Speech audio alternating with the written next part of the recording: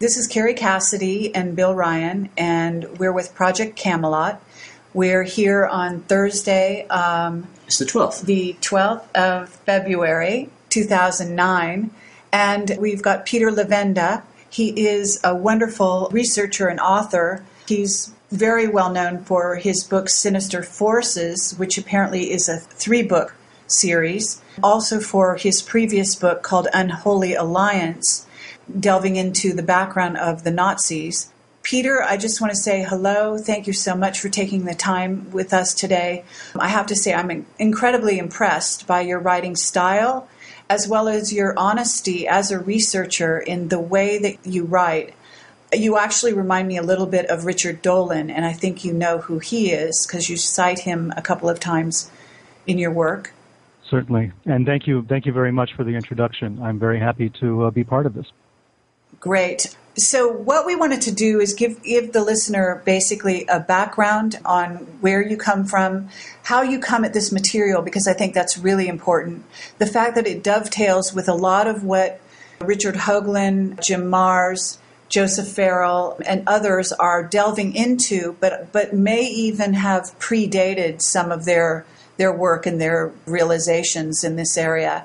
And and we're talking about how the Nazis, how mind control, and how the direction America is going, and why we might be going in a certain direction, and what the underpinning occult significance is of all that. And I think your background is just really stellar in this regard. So please just go from here and tell us where you come from and where you've been going with all of this. Well, I'll try.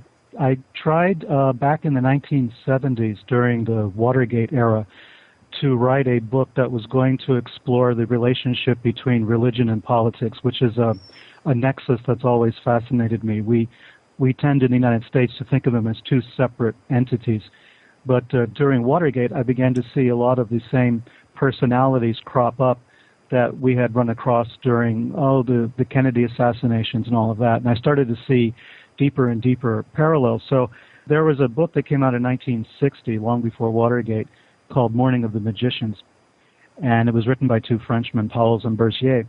And the, it talked a great deal in there about a Nazi occult connection, but it was it was not documented at all. And I thought that would make a great chapter uh, in the book that I was planning. Let me write something about the Nazis and religion or Nazis and, and occultism or mysticism. And I went down to the National Archives in Washington, D.C. Uh, this was right at the height of Watergate. Nixon was still in power. He was about to leave. It was a month or two before he left. Uh, so the whole thing was was a, was a fever pitch in Washington. But oblivious to that, in in a sense, I was at the National Archives looking at captured German documents. And as I was in the National Archives, the archivist there, a very famous archivist, anyone who studied the Nazis back in the 70s and 80s would have known about Dr. Wolf. And when he found out what I was trying to do, he suggested that I look at the records of an organization called the SS Ahnenerbe, which was actually a division of the SS that was specifically concerned with occult and mystical research. And I was stunned. He led me to the microfilm rolls. I started going through the machines, and here I realized I, had my jaw dropped. I was looking at the actual documentation of a full fledged Nazi program to investigate occultism. Other authors had talked about a Nazi occult connection. The book, The Morning of the Magicians, talked about it at length, but there was no documentation at all. And some of the other books that had come out at that time, for instance, The Spear of Destiny and some of the others, talked extensively about this, but there was no documentation. So it seemed like speculation until suddenly I'm staring at all the documents. And page after page after page of research in Tibet, uh, Tibet expeditions. There was research to find the Holy Grail. There was all sorts of bizarre SS programs that were being financed heavily by the Nazis uh, during World War II. So it got me thinking that maybe there is a lot of documentation in the world. Maybe you can find evidence of all of this without having to speculate too much. So uh, the Nazi documentation got me very excited.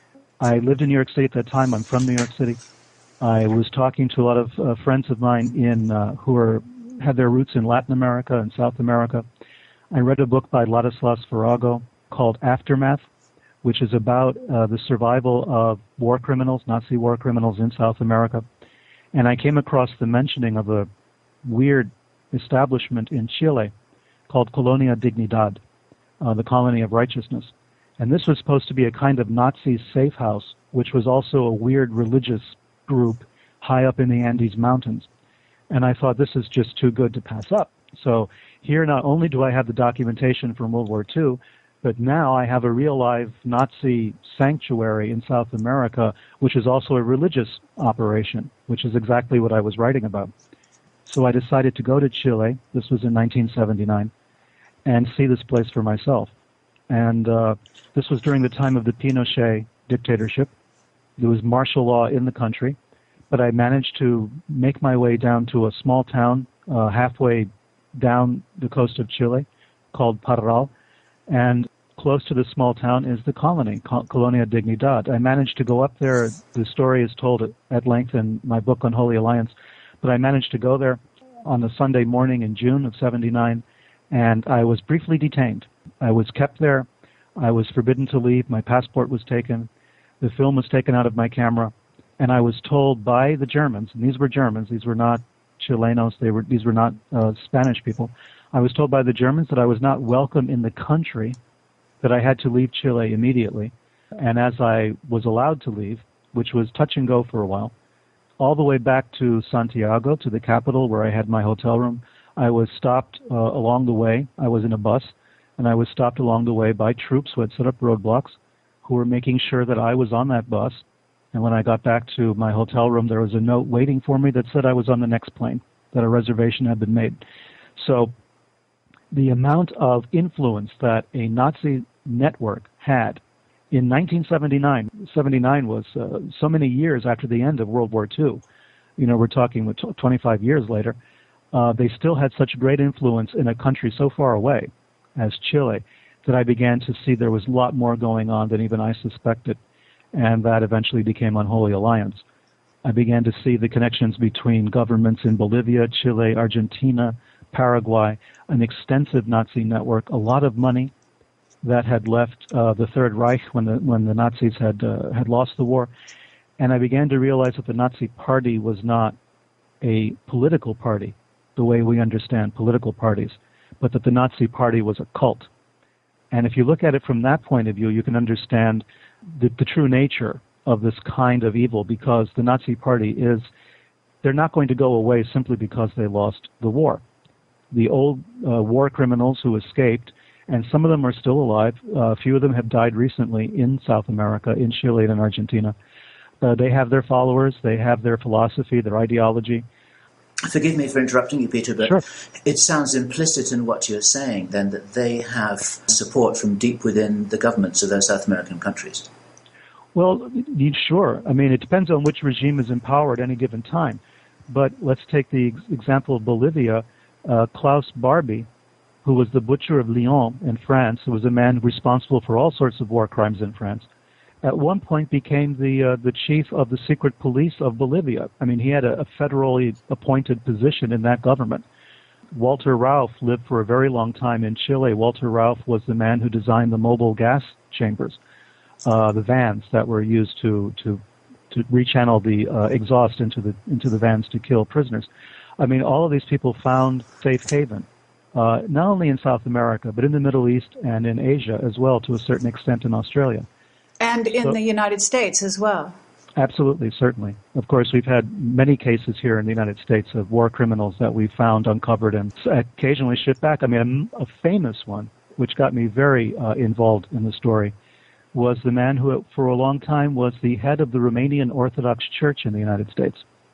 Here was an archbishop who, during World War II, had been a member of the uh, the uh, what was the name the um, Iron Cross or the Iron Arrow, I think, uh, a Romanian uh, Nazi organization who had tortured prisoners. Here was a man who was a devoted Nazi, who after the war was over fled to the United States, and although he had no seminarial training as far as I've been able to uncover, he managed to take over one branch of the Romanian Orthodox Church uh, in, in our country, in the Midwest, and was not even discovered until uh, maybe 20 years ago when he was forced to leave the country. So yeah, we've we've helped a lot of people escape. The Catholic Church also, to a certain extent, was involved in that. An operation called Caritas during World War II, uh, which provided Vatican passports to help some of the more famous war criminals escape to South America. So there was a lot of collaboration. And even in our own country, in the United States, we had Operation Paperclip, in which we brought Nazi scientists over to help with our space program, among other things. So that got me working on what eventually became Sinister Forces. I began to wonder how was it that we in the United States could have sold our soul so easily to to something as heinous as as as a a criminal organization like the SS and to the Nazis in general to bring their scientists over here to make them work for us and really to give them great jobs, to give them uh, positions in our industry. Walter Dornberger is an example who held a job on the board of directors of Bell Helicopter. All, all sorts of people, people who worked for the uh, space medicine program in Texas at Randolph Air Force Base. There's a very big story there. Right, um, and that that goes that has tentacles that go to the whole mind control aspect, and I think that you cover that, you know, really wonderfully in Sinister Forces. I mean, I, I, I, can't imagine what you do in book two and book three, but I have to say that that's really a huge story. Well, I develop the same uh, ideas in book two. I focus a lot on uh, the Charles Manson family as as a kind of quintessential example of what sinister forces might be, from the behavior modification, mind control aspect, and then in book three, I sort of lay out what I think is the whole story and how how these uh, how this works. I connect serial killers to mind control uh, operations and try to understand.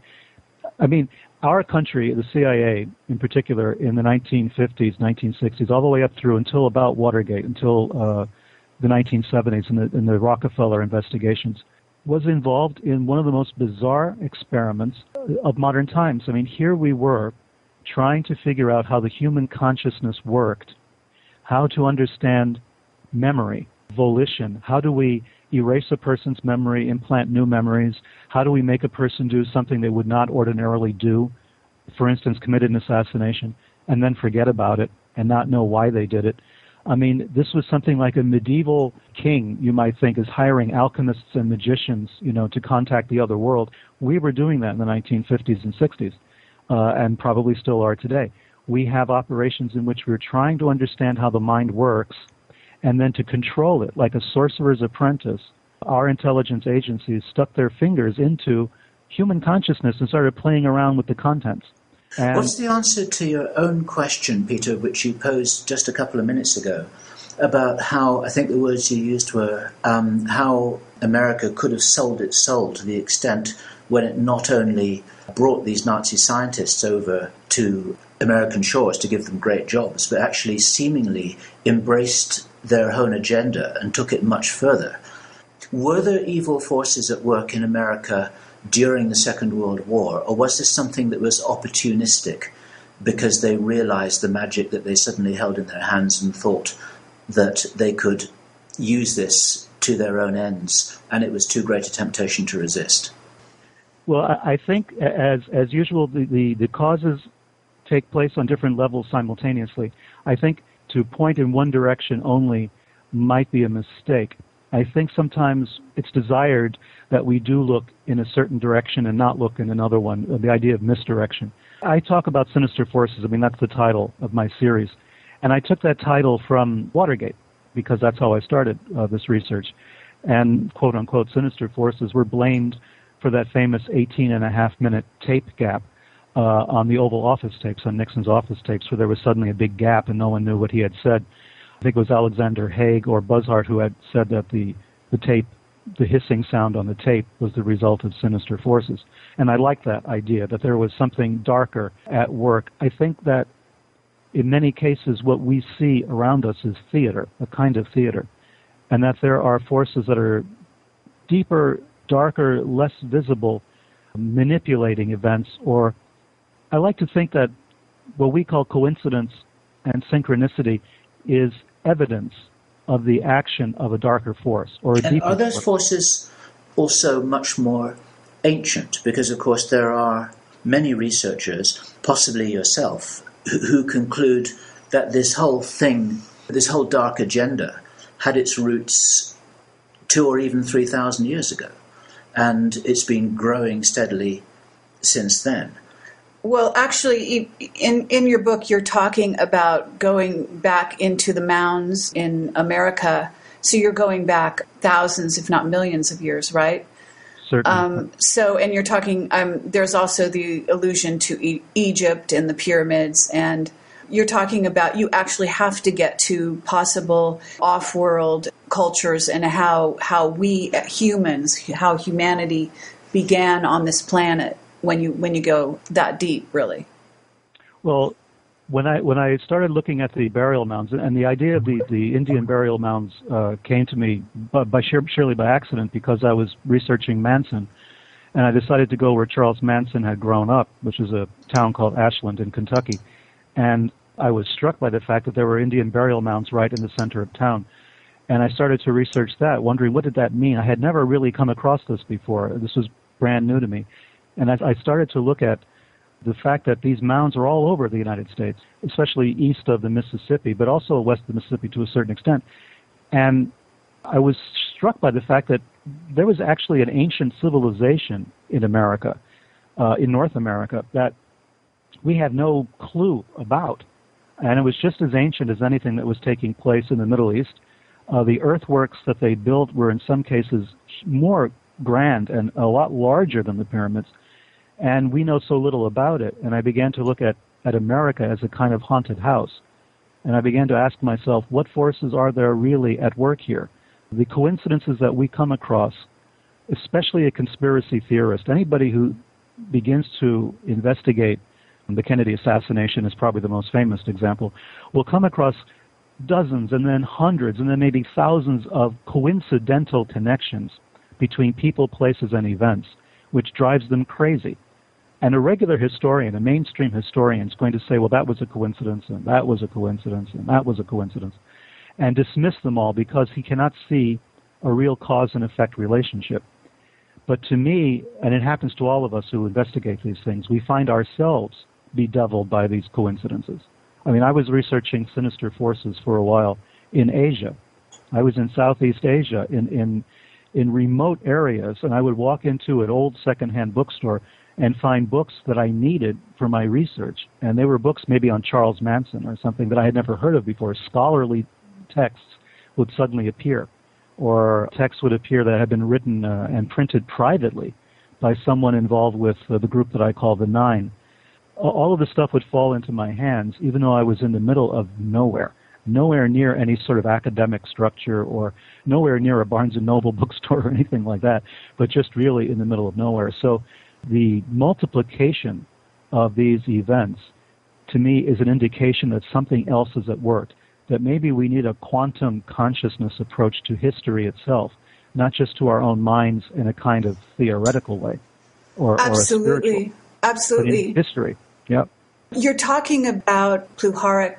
I'm, I'm not sure how you say his name. Uh, Puharich, right. Yes. Uh, and that opens a can of worms around the mind control and how the mind control itself seems to stem from those early beginnings and who the consciousness that supposedly Pluharic actually what got into contact those nine people of which there are people that have written books since then and gotten involved in, in supposedly being in contact with, if not those intelligences, then others. Some call it the Giza intelligences.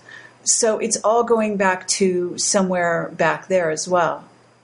Well, yeah. And I mean, if, if you begin with Puharich, you can see the contours of what I'm talking about quite clearly because here was a man who was a, a researcher into the paranormal but he was also a captain in the U.S. Army and a medical doctor. Uh, all of these things all together, and this was all during the Korean War. And here is a man who is giving lectures to the military on how to weaponize ESP. You know, how to use man's uh, telekinetic and telepathic powers as a weapon in, in, in the fight in the Cold War.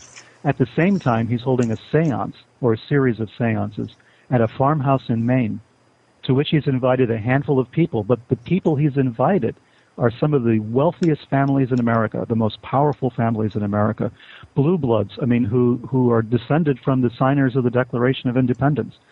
And the, the thing that fascinates me about this is that this is thoroughly documented stuff. This is there's no speculation about this at all. Anyone can go and look it up and find out for themselves that these people did meet. They conducted a seance. They were in contact with some extraterrestrial or supernatural group of beings, which called themselves the Nine. And we're talking about people who were also tangentially involved in the Kennedy assassination, which would take place 10, 15 years after these events. I mean, it's a, it's, it's stunning. I mean, you ask yourself, mm-hmm. what is the connection? How could this yeah. possibly be? What did you think of Picknett and Prince's book, The Stargate Conspiracy, that you must have read as part of your research? I did read the Stargate Conspiracy, and I wanted to shout at Picknett and Prince, just go a little bit further, go just a little bit more, and you will see the connections right back hmm. to the Kennedy assassination. Because I was thrilled they were writing about this, these events, about the Nine also. They were writing about Puharich. They had mentioned him. They had mentioned this group, but they had not drawn the connection. They had not connected the dot between, for instance, Arthur Young, who was a prominent member of the Nine, a man who invented the Bell helicopter, which I had mentioned just a little while ago as having been involved with Nazi uh, scientists. When you talk about the Nine, are you talking about a human group or an off world group, or is this an allusion to two groups of nine? Well, I'm talking, when I talk about the nine, uh, I'm focusing first on the human group because those are the names of the people that we know. But of course, they were considered to be the earthly representatives of the spiritual or extraterrestrial group that called itself the Nine. What is that earthly group of nine? Well, the Nine included families, uh, for instance, Arthur Young and his wife Ruth Forbes Paine Young, who is a relative of John Kerry's, as a matter of fact. John Forbes Kerry. So we have Arthur Young and his wife, Ruth Forbes Paine Young. We have a DuPont. We have an Astor, all as part of this group, as well as Puharich. So the Astor family was there, the very wealthy American and British family, the Astors. Of course, everyone knows the Astor and the Waldorf Astoria, et cetera, et cetera. John Jacob Astor was on the Titanic. So we have the Astor family. We have the DuPonts, of course, extremely powerful, wealthy, influential American family. And we have the Forbes as in Forbes magazine and Steve Forbes and all of that, that family was represented. Her name was Ruth Forbes Paine. Paine was one of the original signers of the Declaration of Independence. She is a direct descendant along that line by marriage. And Arthur Young himself, the inventor of the Bell helicopter. So you have a family grouping here of some of the, the, the, most aristocratic family names in America. If we had royalty, they would be DuPonts and Astors, Forbes and Paines. Did well, they call and, themselves the Nine? Or is this your term for them? I mean, did they have an agenda or some kind of a thesis or a reason for being together and were recognized as a group of that size? Well, they, they called themselves the Nine in this fashion. They held a seance. Okay. Puharich was conducting a seance. He had a medium from India, a Dr. Vinod. And Vinod mm-hmm. was in telepathic communication with a group of beings that was somehow in space, hovering over the earth, and there were nine of them and they told the group of nine individuals, we are nine and you are nine. Therefore, you are the Brahmins who are going to bring a new wave of enlightenment or a new wave of evolution to the planet. We're going to use you as our vehicle for causing this kind of spiritual evolution, this jump starting of evolution, if you will. Okay. And this was, was also a takeoff on basically what the Illuminati had been their philosophy since the beginning of, of the group that we call the Illuminati, of which these families are all part. Well, that's the implication. I mean, otherwise, why are these people, as I said before, some of the wealthiest individuals in the United States are in Maine in a barn in the woods on New Year's Eve when they could have been anywhere else in the world because they had the money, they had the wherewithal, they had the connections. Instead, they're holding seances in the freezing cold in the winter in this barn. What is the motivation for this? What is the purpose? How do they know each other? We don't know so much about that. We know that Puharich was the guy bringing them all together for the seance, and they willingly went and took part in this, in this endeavor, not just once but several times. So their motivation on their own, I, I don't know. I wouldn't want to speculate except to say we're talking about the most powerful people in our country at the time. And the analogy that you're drawing here is that there's good evidence that the Nazis were doing something similar, both before and during the war, and yet you're saying that this practice of powerful individuals from powerful families in a powerful nation state are suddenly doing the same thing several decades later. Well, yes, I mean, 90, I mean, less than 10 years later. If we count the end of World War II as 45, these people were meeting in the early 1950s. And what Himmler was doing himself, I went and visited the uh, in Germany the castle that he had uh, renovated called Wewelsburg. It's near the town of Paderborn in Germany. And this castle was developed by him to be a kind of Vatican for the SS. It was going to be their spiritual headquarters.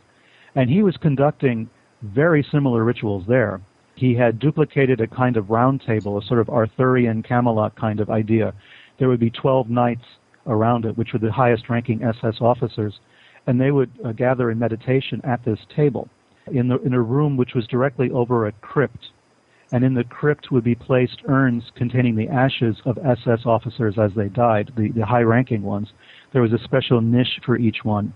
There were swastikas engraved in the floors and the whole nine yards.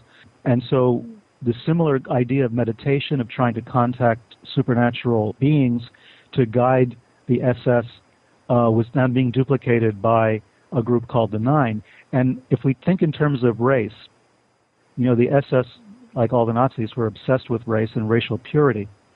Suddenly, with the Nine, we have, as I said, the blue-blooded American families: DuPonts, Astors, Paines, Forbes. We have this this this gathering of the for want of a better word, the most racially uh, acceptable uh, to the Nazis uh, uh, grouping in guided meditations in the woods, you know, doing the same thing, except there were not 12. In this case, there were nine, very specifically. So I'm not trying to draw too close a connection between what the Nazis were doing and the nine. Uh, the practices were quite similar. Um, it was a group seance, it was a meditation, it was something to do with evolution of the race. Okay, so but you have a lot of the same themes. But there. what you also, I think, continue to investigate is to find out where that information that they were receiving from the nine went from there, because I believe there is a trail that connects through SRI and Hal Puthoff and Ingo Sure. Swann, remote viewing, and and actually then circles back and also has to do with were people that were involved in mind control then utilizing some of that information and or is it guiding for example the agenda of the illuminati to this day Well, it certainly did make that route that you just described. And the connective tissue in all of this, of course, is Andrija Puharich. Puharich was the man largely credited with having discovered Uri Geller, for instance, the famous Israeli psychic.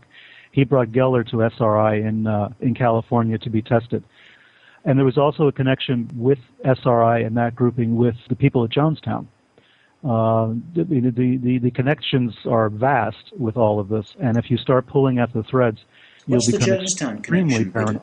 Well, yes. Uh, in volume two, I have about 100 pages alone just on Jonestown because the amount of work that has yet to be done just to decode that event, I mean, is still enormous. We really know very little about what really happened at Jonestown. But slowly but surely, more and more information has been revealed over the last 20 years or so. Uh, some of it by a good friend of mine called Jim Hougan, an investigative journalist who spent a lot of time uh, researching Jonestown and came up with some of the CIA documents to verify that Jim Jones himself was some kind of contract agent with the CIA. He had what's called a 201 file at CIA. So we know there was a connection there. But as far as the connection with SRI, I think it was Russell Targ, if I'm not mistaken. I believe it's Russell Targ who was the man who was involved with both Jonestown and SRI and Hal Puthoff. There's also Yes. the link back to Pluharic as being part of working for the cia Yes, as far as Uri Geller was concerned, Geller always said that Puharich was his handler for the CIA. He's made that statement several times. But as far as SRI is concerned, Russell Targ, the physicist who was part of the SRI group, by his own admission was involved with a group of Jonestown survivors. He was director of counseling at their Human Freedom Center in Berkeley and left them to join SRI to study psychic phenomena the group that he was working with, Al and Jeannie Myrtle, after he left them, a few weeks after Targ left them to join SRI, the Myrtles were found dead, murdered execution style in their home. So the connection between Targ, SRI, and Jonestown is definite. What it means, we don't know.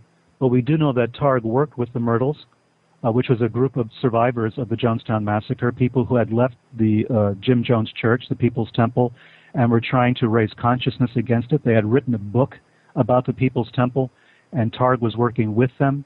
He left to join SRI, and a couple of weeks later, the Myrtles were dead, murdered, execution style. So, so you have to also say that with all of this, what happens is some people will fall on working for the positive, and some will be working actually for the negative agenda within the fact that there are connections with, between these organizations because there's very definite connection between the CIA and SRI and between Puharich and CIA. So you get all these connections with CIA. Uh, Gordon Novel, the Kennedy assassination, all these link back to the CIA. So it gets really convoluted.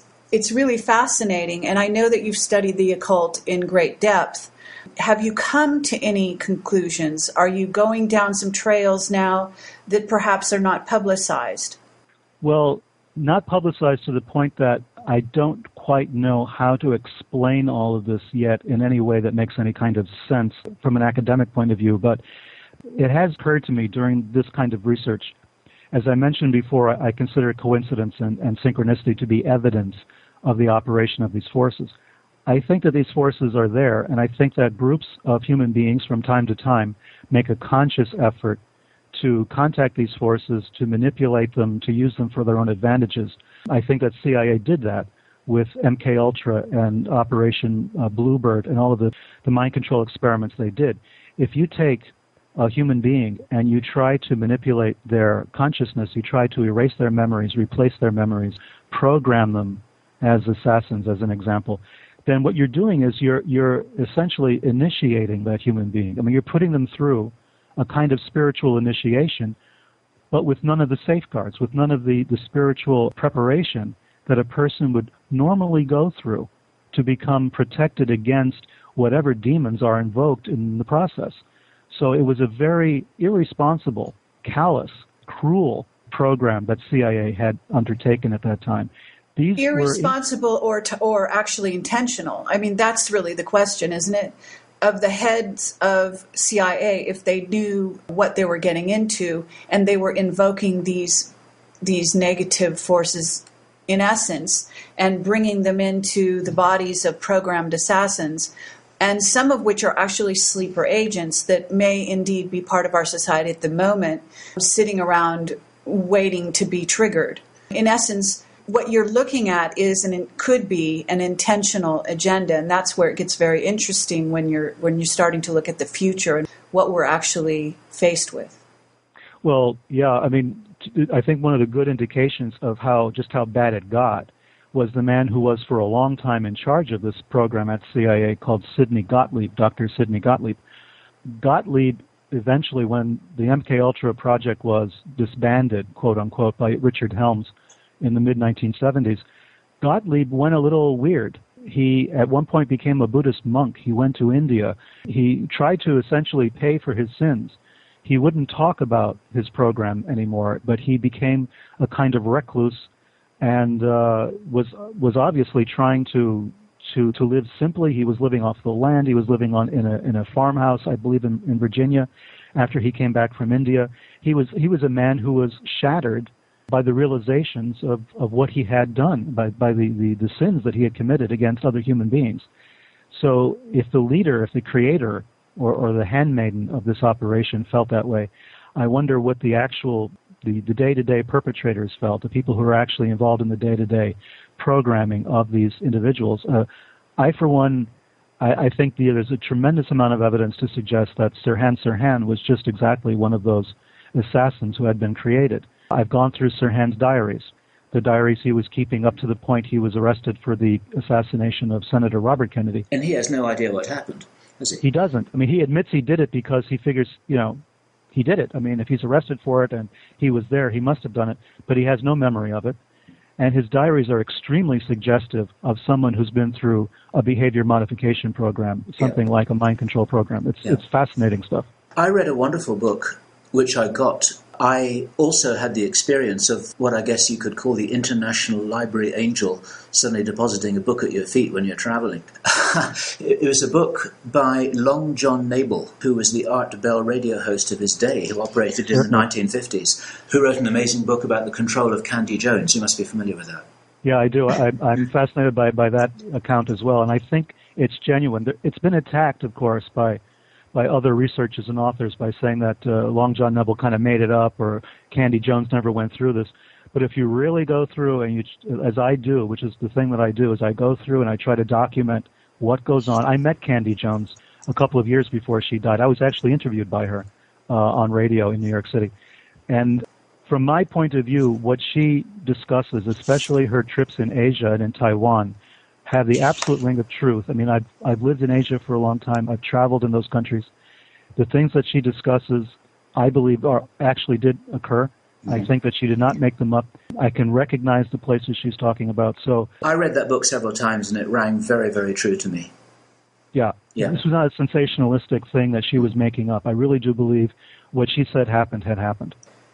So, where are you going now with everything? Because you don't really keep your blog up. You had been talking about McCain as a possible mind control victim, and I think there's great evidence to that effect. I'd be interested to hear what you have to say about Obama.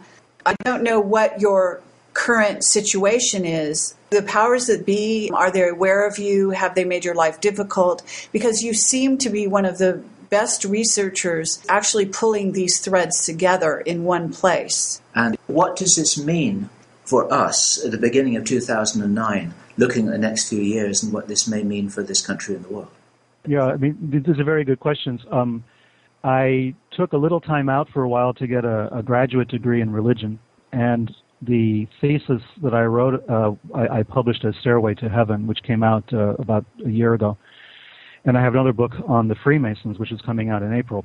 I've kept my hand in in all of this, and I, I've been, but I've been doing a lot of academic type work on the one hand, and then a lot of investigative work on the other.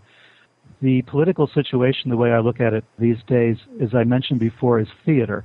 It is basically theater. We are watching a play being acted out in front of us, and we're all willing or unwilling uh, audience members in this play.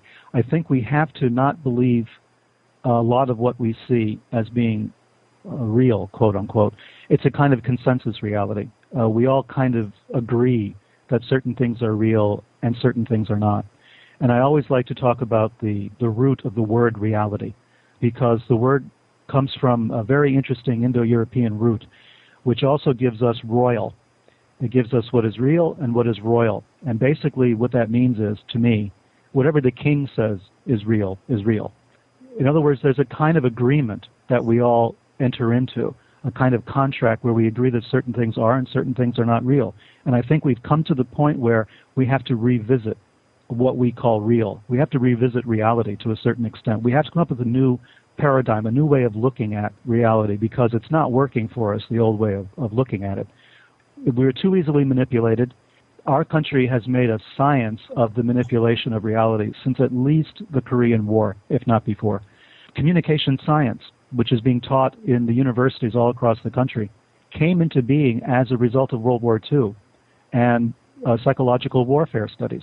I mean, the same guys who created psychological warfare for use during the war were the guys who, in the private sector, developed programs for teaching advertising, marketing, and communication. Mm-hmm.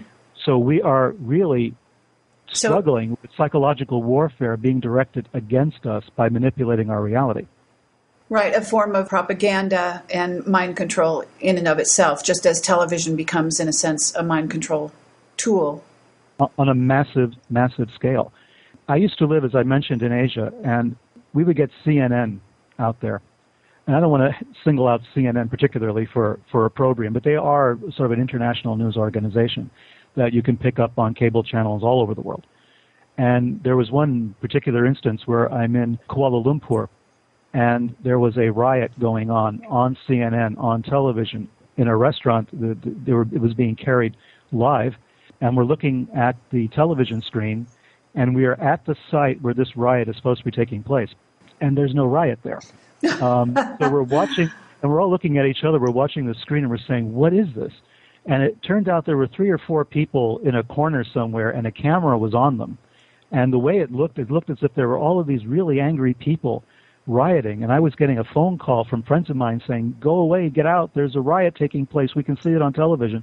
And we're all sitting in the restaurant saying, Well, where's the riot? You know, there is no riot. I mm-hmm. mean, it was it was manufactured news essentially. And if that happened that one time, how many other times has this happened? You know, how much how much of our news is being manipulated or or controlled or created? You know, as we watch it. Right, but as as a researcher going into this as deeply as you have, you must be able to look towards the future and come to certain conclusions and or think about certain uninvestigated trails to look down. I am curious, do you think for example, there are sleeper agents because you know we keep having these incidents happen and they seem to be evidence of mind control operations in which you have school kids suddenly flipping out and so on and so forth. Where's it all headed? Well if we characterize the agents of this madness as individual human beings we might be missing something darker and something deeper I believe that there are individual agents, of course. I mean, that's what I investigate. That's what I write about. That's where the evidence leads me. But sometimes I think that there is something else at work here.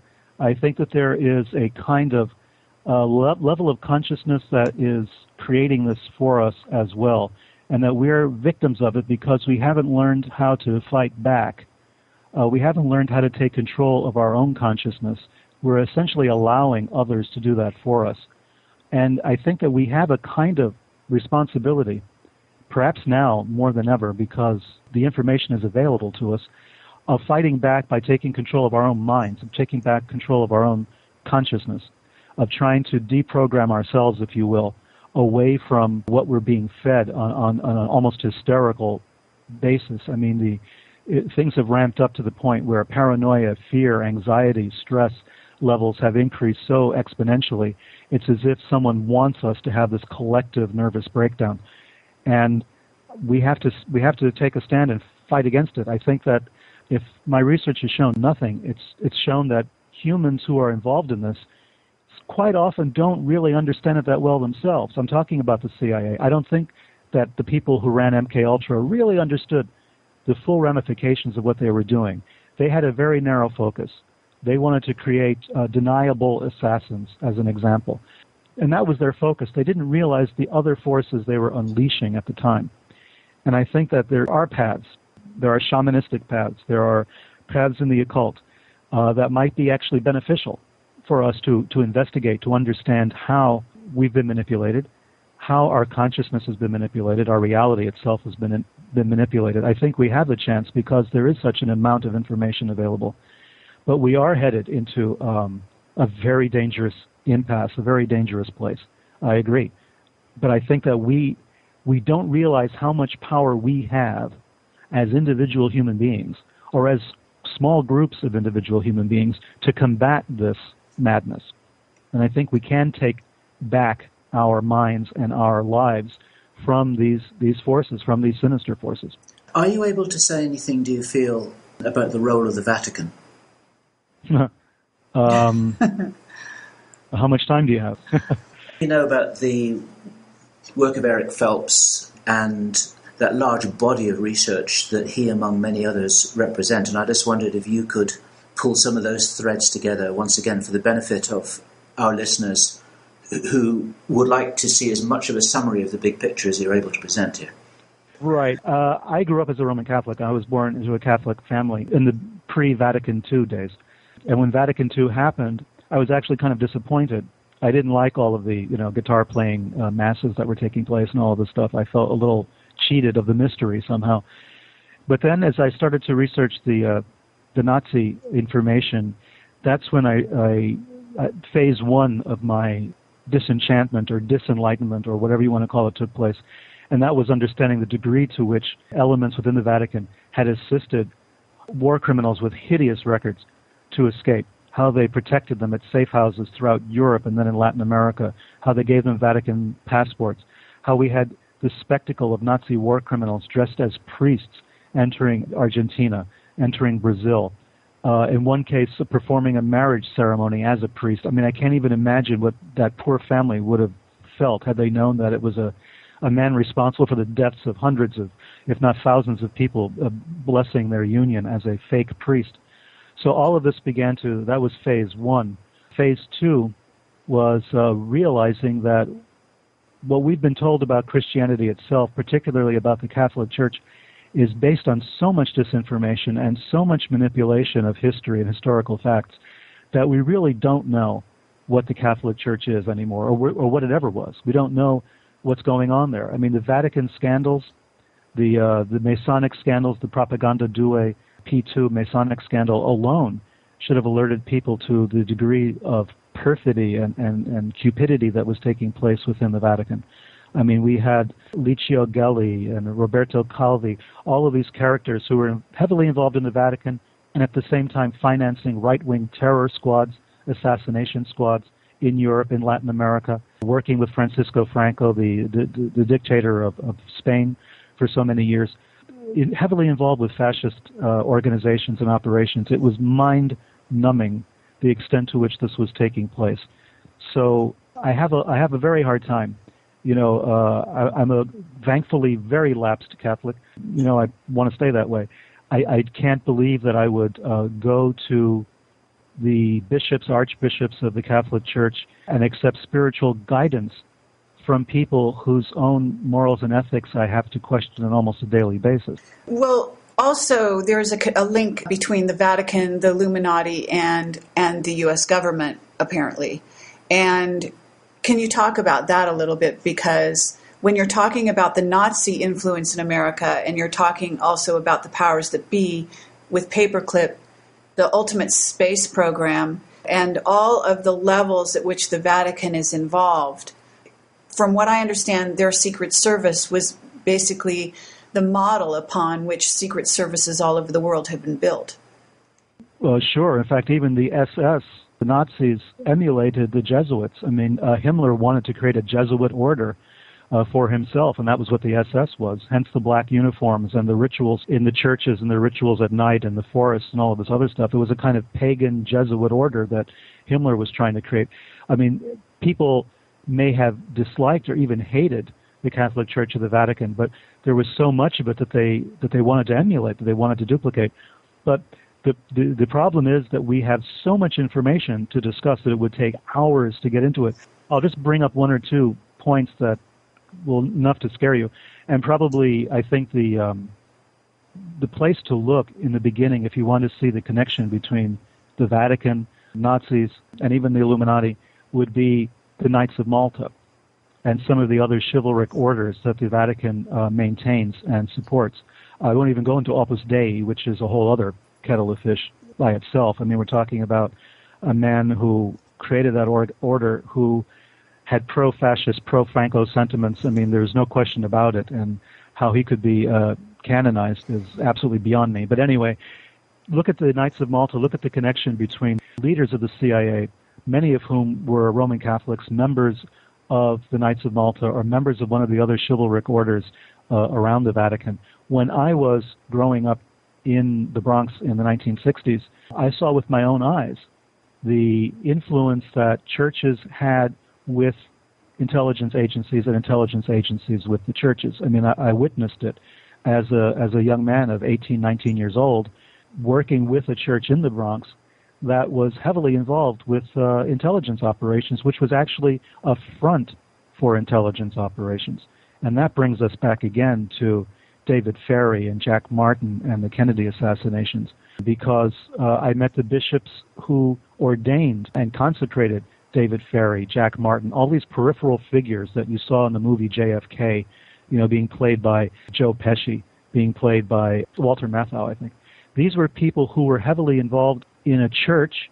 They were also involved in intelligence activities. They were also involved in anti-Castro Cuban activities and considered to be involved uh, in one way, shape, or form with the assassination of a president in Dallas. So the, the, the nexus between religious organizations and intelligence organizations is, I mean, it's thick. It's just thick. You know, and, and I like I say, I saw it with my own eyes. I know the church that Ferrie and Martin belonged to in 1968 when Jim Garrison was starting ramping up that investigation into the Kennedy assassination. Uh, David Ferrie died mysteriously, but he was a priest and a bishop with one of these churches. So Don't you also get into maybe what's going on with the agenda in terms of how this plays out? For example, in the the economy of the world going, you know, downhill, and the the desire for the one world government, and how there are certain problems being created so that a solution can be created. As you know, possibly David Icke's work in that area. So, what I'm wondering is, are you following those threads such that obviously you see the economy going down in America and around the world. There are sacrifices, blood sacrifices. Some of these things are, or maybe even all of them, are actually planned as some kinds of sacrifices to these hidden dark entities in order to make certain things happen upon this planet. Well, if we don't characterize the economic situation as a purely economic situation, I think we can see more clearly what's taking place. In a previous era, this might have been uh, a vast military conflict. It might have been a World War III or a World War IV or something. Uh, now we're fighting that same war, but we're using economics to do it.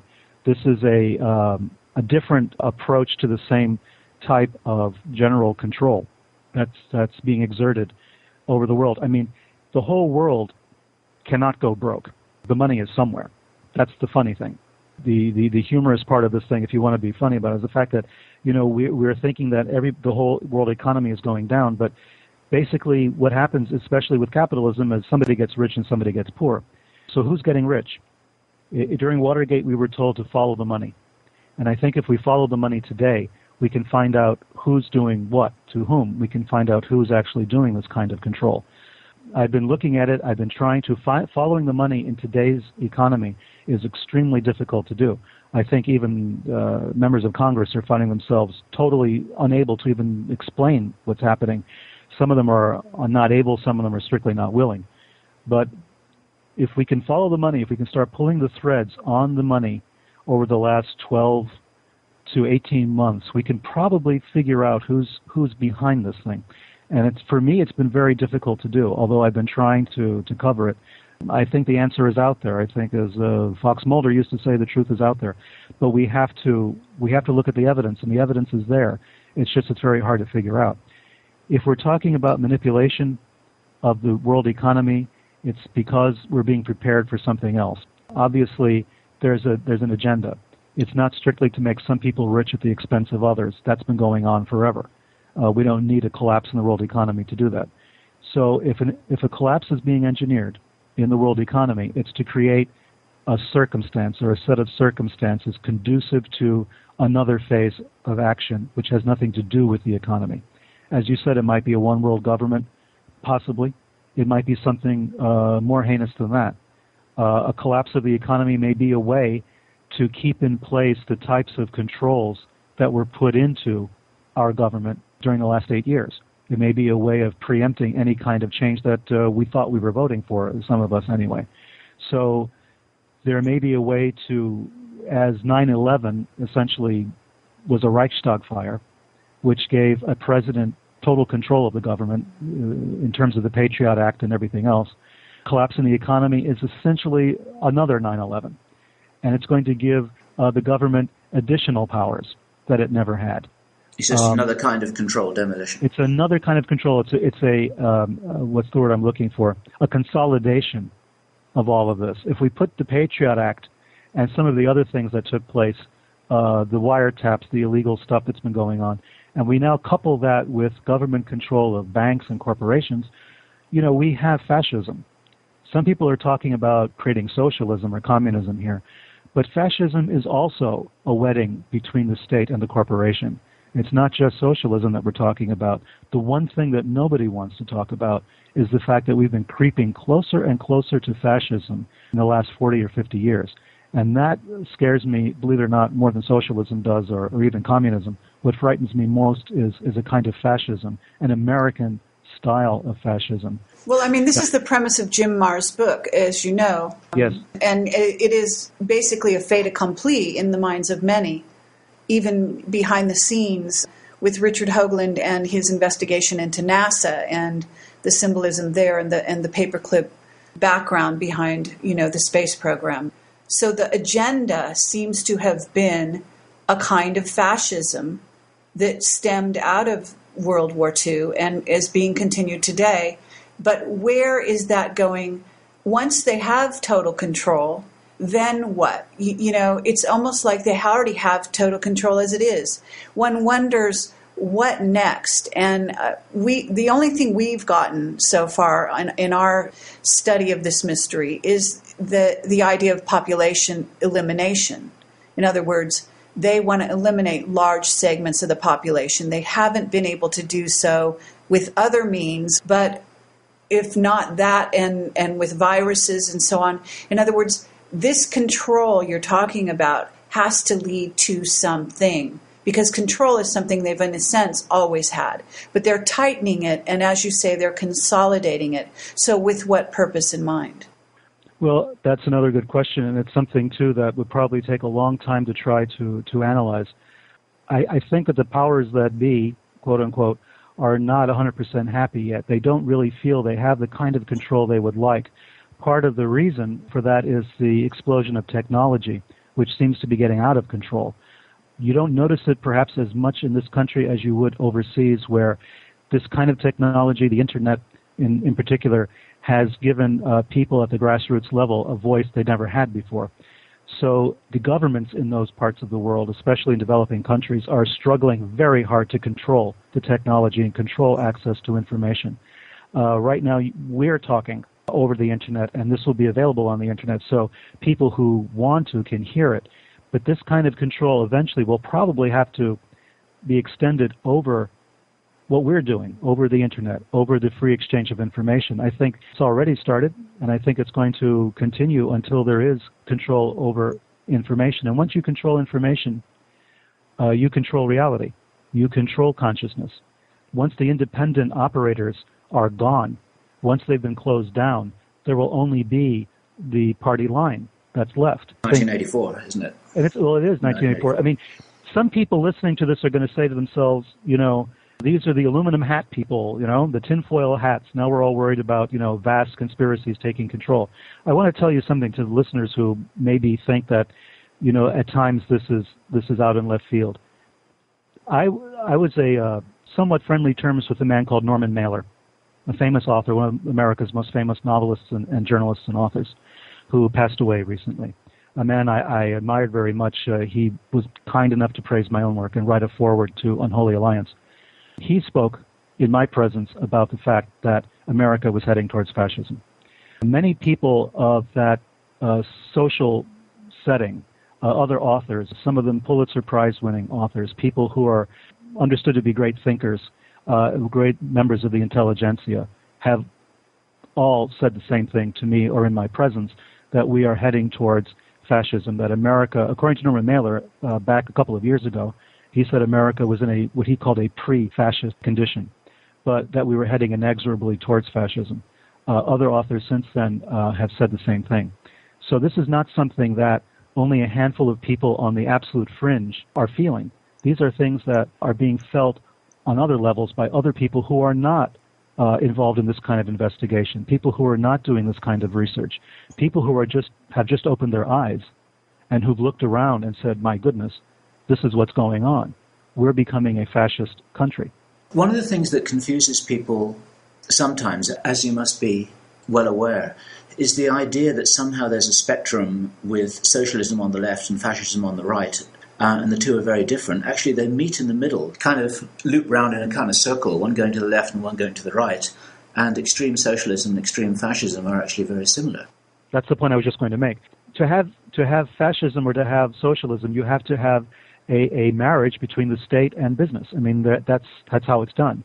Either the, the, the government owns the means of production, as it does in a socialist or a communist country, or the state and the corporation uh, the corporations have a working uh, relationship, a nice working relationship, as Eisenhower warned us about when he left office. He talked about the military industrial complex and how frightened he was that that was happening.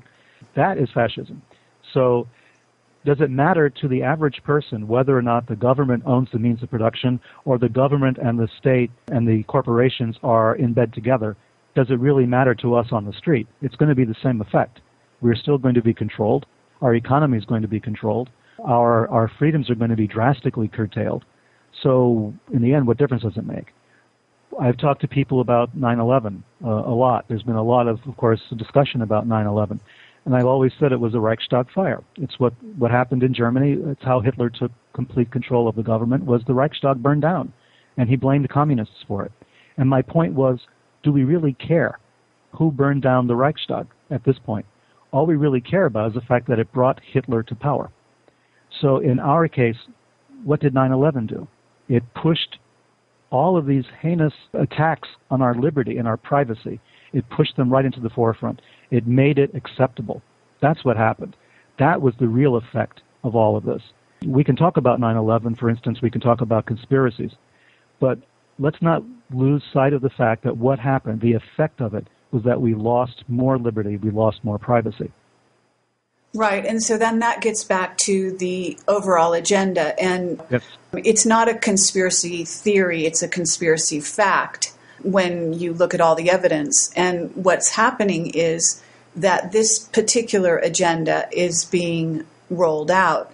And of course, it's very heartening that you do talk about how consciousness and the role of consciousness was getting out of the hands of the people in MK Ultra, such that people like Gottlieb himself, who was certainly one of the masterminds behind all of that, goes on his own sojourn to India to looking for some kind of spiritual way out, I think, of of the responsibility for which he you know, it's it's basically like walking around in some kind of, you know, living hell, I'm sure, being inside that guy's head. And so in essence, all of this is playing out in a microcosm around the globe, not just America, because I see it in many countries. In fact, England has the best surveillance system on the streets, uh, cameras, etc. So what's happening is, on some level, it seems to be manifesting in America, sort of in a more overt way, but in a covert way, it's actually existed in small countries under despots that were financed by the CIA and then across the globe masterminding the governments behind countries like Switzerland and, and so on. Well, right. I mean, this what's very amusing to me in a sardonic sort of way is the fact that in the United States, if you talk about conspiracies, you're poo-pooed. You know, you're shot down. You know, it's considered you know uh, paranoid fantasy, and yet we recognize without hesitation the fact that conspiracies like this exist in every other country on the planet, right? So uh, when Benazir Bhutto, the, the former prime minister of Pakistan, was gunned down last year in Pakistan, everyone said, of course, it was a conspiracy. There were elements of the Pakistani secret police involved, Al Qaeda maybe involved, or the Taliban, or who knows what. But it was automatically it was a conspiracy. However, according to mainstream historians, not a single person assassinated in this country has ever been assassinated by a conspiracy. No conspiracy, nothing to see here. Move along, right? Yet we, we have this idea somehow that the U.S. is immune to these events. And yet we overthrow dictators in foreign countries. We've overthrown and committed assassinations in Guatemala, in Iran, uh, back in the days of the Shah. Uh, we, we overthrew the, the government of Allende in Chile. You know, we put Pinochet in power. All of these things we do on a regular basis, and we've done it for years and years and years and yet somehow it never it doesn't take place inside the United States. Why is that? Why is it why is it so impossible to believe? Right, and I, I think that though nowadays it's a lot easier to sort of get people to not so much believe but really understand what you know the roots of conspiracy and ever since the death of kennedy i think that that america's eyes have, have slowly been opened along those lines at least many although certainly 9 11, you still get people not able to accept the possibility that a conspiracy took place there. So again, I guess we've gone full circle with you in many ways. We're we're going over some material here that is just the roots are everywhere. The conspiracies, if you will, are everywhere. It's very heartening to know that you are behind the wheel investigating all of this um, and documenting it and pulling as many threads together as you are. I encourage people to follow your work. I certainly want to read a lot more that you've written. Where I'm going now, I'm still in the midst of all of this. You know, I'm still in the midst of researching. I don't know what my next book will be. Uh, as I mentioned, I have a book on Freemasons coming out in April, which is kind of a look at the connection between the Masonic Society and the Mormons and some of the occultism that was taking place in our country before, uh, during, and after the Revolution, the American Revolution. So I look at the uh, the connections that were there. It's it's a kind of a, a, a general look at the at Freemasonry. I'm not a Freemason myself, of course. That's coming out in April. Stairway to Heaven was really more about Kabbalah and Chinese alchemy and, and that sort of thing. A very spiritually oriented book trying to understand some of the, the implications of, of some of the ancient writings. So where I'm going to go from here, I'm constantly collecting information. I'm constantly building up files of, of data, trying to see more connections, and I'm sure I'll have something something like this uh, to share with you soon. That's fabulous. One thing I do want to ask you: the book you were talking about that you investigated the occult quite deeply. I was involved with it. Yeah, the Necronomicon, of course. I mean, I've made no secret of that. Uh, I've done some interviews based on that that was an occult work that I think today it's one of the critical texts probably of the mid 20th century on occultism. It's been reviled by a lot of people. People claim it's a hoax. Other people say it's a it's a very terrible book or it's a very powerful work. I look at it as uh, a survival of an old Middle Eastern occult practice, which involved a, a process of initiations, going through a series of gates, uh, gaining greater and greater uh, illumination or enlightenment at each time, uh, each passing of the gate. It's an interesting book, and the events around it were interesting as well. We'll have to revisit that with you because I'm fascinated sure. by that as well. Well, thank you, Peter. This has been this has been fascinating. We're both really very interested in what you're going to be doing in the future, as well as to get into your work after this conversation. And thank you for taking the time today to talk to us. It was my pleasure. Thank you very much.